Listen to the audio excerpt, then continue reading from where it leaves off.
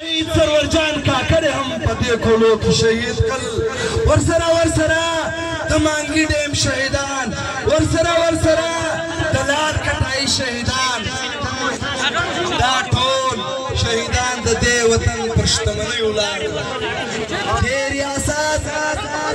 د دې هرنایي وشتمنۍ ته یو پروګرام او لګیا دي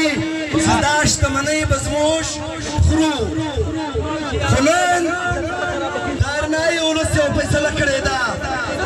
ډېر ډېر په نر ورځ یې کړې ده په وری تند یې کړې ده چې ای ریاست ده زیاته د پښتنو وسایل چا پلار هم نسي لوټلی پښتانه به پښتانه به همداسې